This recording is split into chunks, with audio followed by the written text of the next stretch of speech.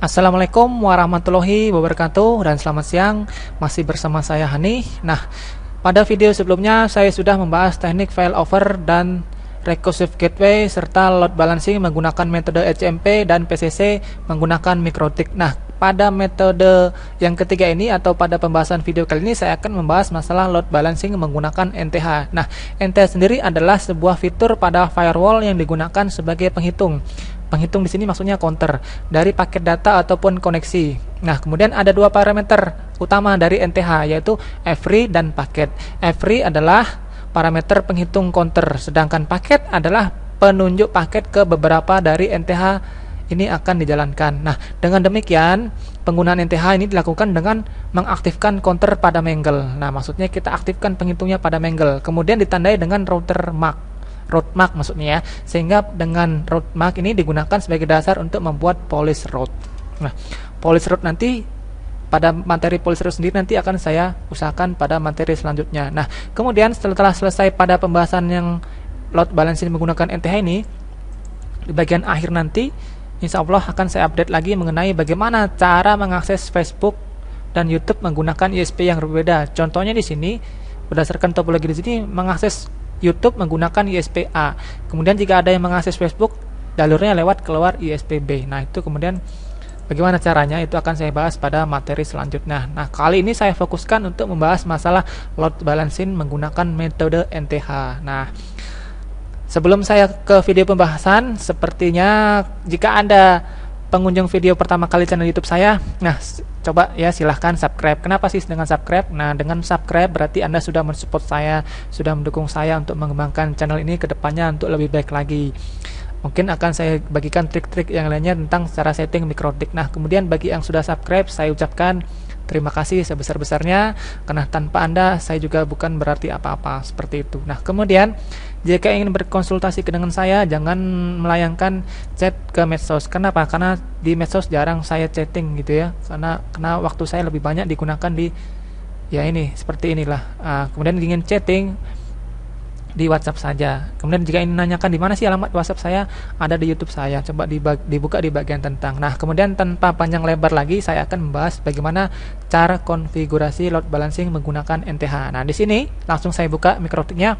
Ini adalah settingan yang sebelumnya yaitu PCC dengan menggunakan bandwidth yang berbeda. Ini saya hapus ya. Ini untuk yang NTH kemarin atau tadi yang load balancing beda bandwidth. Nah, kali ini saya akan mencoba menggunakan NTH dengan konsep yang sama artinya ISP-nya yang sama bandwidth-nya juga sama tapi dengan menggunakan metode load balancing NTH oke caranya sangat mudah saya rasa Anda perlu mengikutinya seperti ini yang pertama masih tetap di mangle caranya sama dengan load balancing hanya saja berbeda sedikit. Nah, yang yang sama di bagian mana? Pertama kita tandai dulu koneksi dari ISP-A. Setelah itu kita tandai rootnya untuk counter tadi itu, penghitungnya. Oke, langsung saja saya terapkan. Pertama, klik plus pada bagian mangle ini di tab firewall, menu firewall. Ya, chainnya masih pre-routing. Oke, in interface-nya ke mana? Ke Ether 3 lokal. Ini ya, seperti itu. Kemudian, setelah itu ke mana? Ke bagian ekstra. Ya, di sini ada perhatikannya. Setelah di bagian general, setelah selesai bagian chain dan interface-nya, kemudian bagian ekstra di bagian NTH. Nah, di sini karena kita menggunakan dewa koneksi, berarti koneksi pertama dua, yang pertama satu di sini. Ya, seperti itu. Oke. Nah, cukup mudah kan? Saya ulang lagi chainnya pre-routing in interface-nya tertiga lokal ekstranya NTH every-nya satu yang satunya paket. Nah, sesuai yang saya katakan tadi bahwa NTH itu terdiri dari dua paket. Yang pertama adalah every dan paket. Every every ini merupakan parameter untuk penghitung counter, sedangkan paket ini adalah penunjuk paket ke beberapa rule dari NTH sendiri. Nah, seperti itu. Seperti yang saya tekankan di awal. Jadi NTH itu terdiri dari dua paket. Yang pertama every, yang kedua paket seperti itu nah setelah itu kita ke action action ini kita ngapain action ini kita menandai koneksi menandai koneksi ya actionnya adalah mark connection kemudian nama koneksinya kita beri nama aja ya di sini berarti ISPA atau modem A saya beri nama saja modem A modem A Oke, passwordnya yes. Nah, kemudian kita ulang lagi untuk menandai koneksi dari ISPB atau modem B. Kita copy saja lebih mudah dan lebih cepat ya. Saya geser ke sini. Oke. Tab general untuk masing-masing ISP sama. Kemudian yang berbeda di mana? Di bagian ekstranya ya. Yang tadi 21, average-nya 2, yang sekarang berapa? 2. Oke yang ISPA 21 yang ISP, ISPB average-nya 2 paketnya 2 kemudian bagian action yang ISPA modem A yang di sini kita kasih jangan sama lagi dong. ISPB seperti itu. Apply dan oke. Okay. nah setelah kita menandai koneksi langkah selanjutnya hmm, ini sepertinya ada suara background musik ya. Ada ada lagi pengantinan di seberang sana ini. Ya mudah-mudahan tidak terganggu lah suara saya.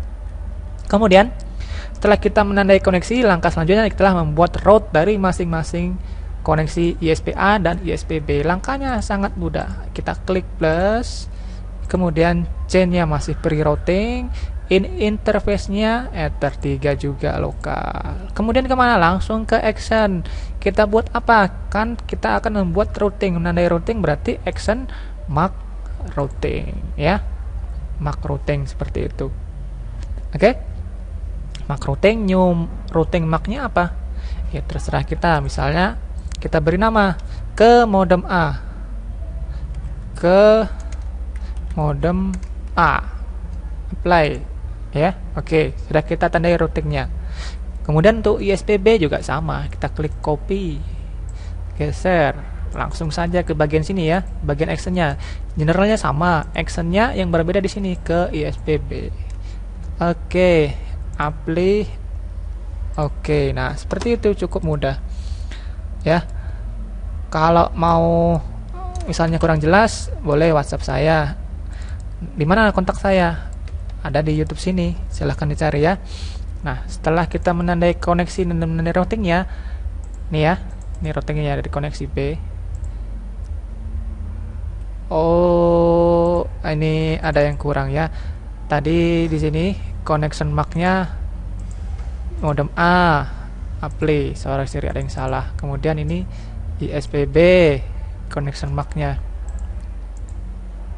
Apply oke okay, oke. Okay. nah sudah berjalan seperti itu. Jadi setelah menandai koneksinya kita tandai juga routingnya. Nah seperti itu. Ini kan? Actionnya tandai koneksi yang di sini tandai routingnya. Modem A ke modem A seperti itu. Oke, sudah paham? Tadi saya kelupaan di sini di bagian rootnya itu ya, connection marknya. Nah, jadi tidak perlu eh, anda khawatir, ini sudah benar konfigurasinya. Juga sama ini. Ini bagian di makronya ya. Nih, saya buka aja. Chainnya pre-routing di sini pre-routing juga. Internet preset tertiga lokal, tertiga lokal, connection marknya modem A di sini modem B. Ini untuk ISPA ini untuk SPB maksudnya untuk nandai routing dari ISPA dan untuk nandai routing dari ISPB kemudian actionnya apa? Di sini mat routing juga ISPA mat routing ISPB juga MAC routing. Kalau di sini new routing MAC-nya ke ke modem A di sini ke modem B. Sesuai tujuannya nandai koneksi dan nandai routingnya. Seperti itu. Saya rasa cukup mudah untuk dipahamin materinya. Nah kemudian langkah terakhir apa kira-kira?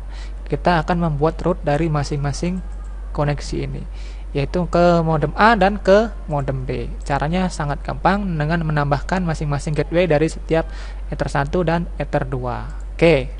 Gateway Ether 1 192.168.3.1. Nambahkannya di route ini ya. Cek gateway-nya ping. Distance-nya 1.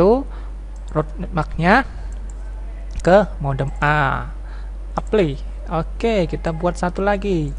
Copy ini yang 4.1 distance-nya 2. Oke, ke modem B.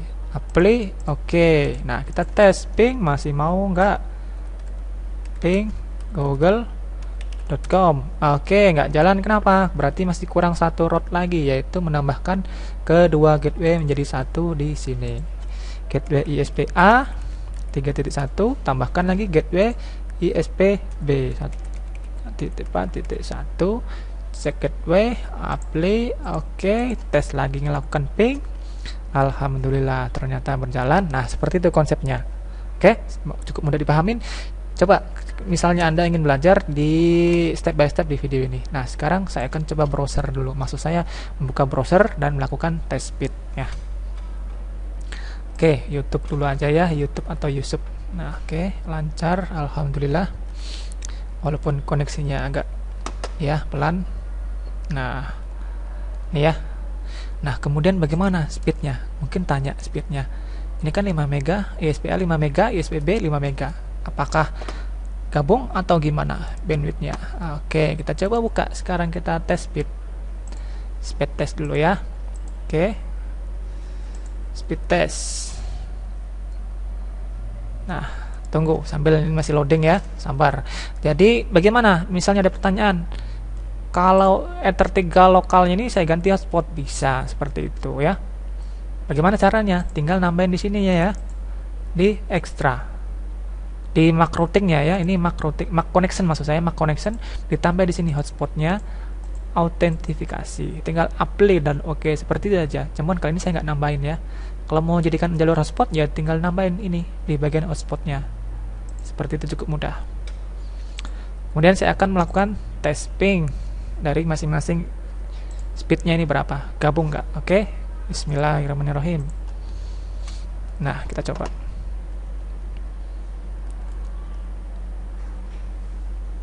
Uh, terus harusnya ini dapatnya 10 mega ya karena mungkin koneksi saya kurang bagus Oke, saya matikan salah satu jalurnya. Oke, iya, kita lihat di routernya. Nah, 10 mega tadi tuh harusnya keluar tuh kan, 10 mega seharusnya ya. Tapi terlihat tadi, mungkin bisa Anda ulang lagi video saya ini, keluarnya 10 mega. Ini untuk uploadnya, 2 mega dan 2 mega. Hasilnya 4 mega. Oke, jadi gabung bandwidthnya ya. Dengan menggunakan NTH berarti bandwidthnya juga gabung. Nih, upload SP1 2 mega, SP2 2 mega, hasilnya dari 4 mega di sini. Oke, ini ya. Jadi dengan menggunakan PCC dan NTH tetap sama yaitu menggabungkan bandwidth jadi 10 mega seperti itu. Kita coba lagi tes. nggak masalah, oke. Okay? Jadi tekniknya cukup mudah. Kita tandai koneksinya dan kita membuat route-nya seperti itu. Jadi kalau beda ISP juga gampang nih ya. Oke, 10 mega ini ya. Alhamdulillah berhasil. Oke. Seperti itu. Jadi anda sudah sudah sudah paham kan sekarang yang mana itu failover seperti apa koneksinya, recursive gateway seperti apa koneksinya, kemudian load balancing HMP bagaimana koneksinya, terus kalau PCC bagaimana koneksinya, kemudian yang terakhir NTH. Nah, jadi tidak saya rasa tidak ada pertanyaan lagi yang masuk. Mudah-mudahan tidak ada seperti itu.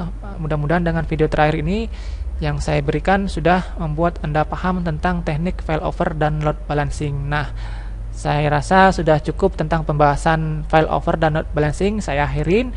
Nah, kemudian nanti bagi Anda ya yang belum subscribe nih, saya kasih nih ya. Nah, video terakhirnya ini ya. Nih, video bukan terakhir tapi video berikutnya. Misalnya, saya mengakses YouTube. Nah, saya pengennya YouTube lewat ISPA. Kemudian jika saya mengakses Facebook, harusnya lewat ISPB. Oke, gampang. Saya akan buat tutorial seperti itu. Ya, bukan saya menggampangkan, tapi mudah-mudahan saya ada waktu untuk membuatkan tutorial ini.